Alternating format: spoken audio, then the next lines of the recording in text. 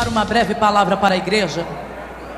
Se encontra no primeiro livro de Reis, capítulo por, deze... capítulo por número 19, verso por número 4, e diz assim: E ele mesmo, porém, se foi ao deserto, caminho de um dia, e veio e se assentou debaixo de um zimbro e pediu para si a morte e disse: Basta, toma agora, ó Senhor, a minha alma, pois não sou melhor do que meus pais. Queridos, é muito rápido esta oportunidade. E nesta madrugada, Deus falara comigo dentro deste texto, que nos fala acerca de Elias, otibista que veio, aleluia, das terras de Gileade a Bíblia fala que Elias agora está vivendo um momento crucial do seu ministério. A Bíblia nos conta que Elias está fugindo de Jezabel por ter sido ameaçado. Mas interessante é que o Elias que havia afrontado os 450 profetas de Baal, que estava zombando, aleluia, dos deuses do povo daquela localidade, está agora também, aleluia, fugindo para o deserto, porque não suportou, aleluia, a perseguição e a palavra de afronta de uma mulher. Interessante que a Bíblia vem nos dizendo que Elias, quando foge para o deserto, ele primeiro vai deixar o seu moço, Nealamante, em uma localidade segura, para que ele possa agora ir para o deserto. E a Bíblia vai dizer que aleluia, Elias senta debaixo de um zimbro e vai pedir a morte.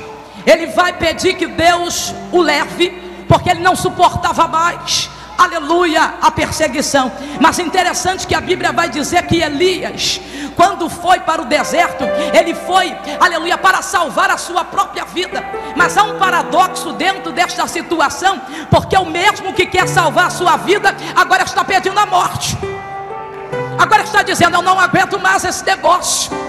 Primeiro ele vai para o deserto para salvar a própria vida. Aleluia. Agora há uma confusão psicológica na cabeça de Elias. E ele vai dizer: Eu prefiro a morte. Eu prefiro morrer porque eu não sou melhor do que os meus pais.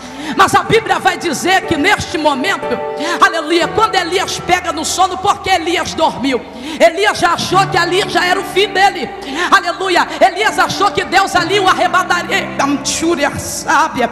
Iria arrebatá-lo porque ele havia pedido a morte. Não. Mas ao contrário do que Elias pede, Deus prepara água, Deus prepara pão e diz para Elias: Olha, se alimenta, rapaz, porque a tua caminhada ainda é longa. Aleluia.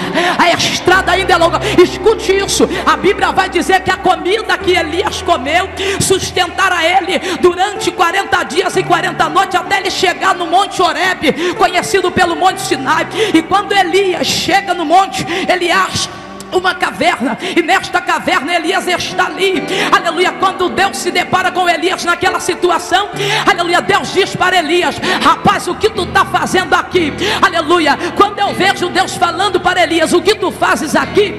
Aleluia. Elias havia,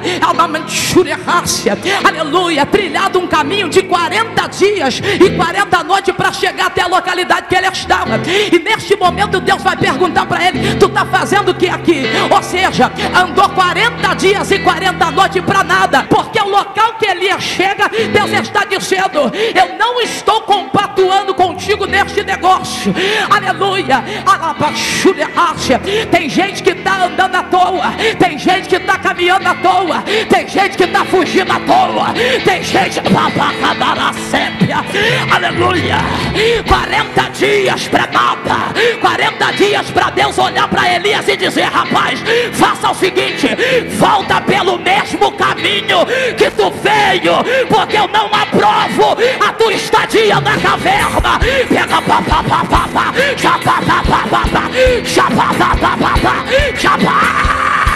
Pega na mão do teu irmão, por gentileza.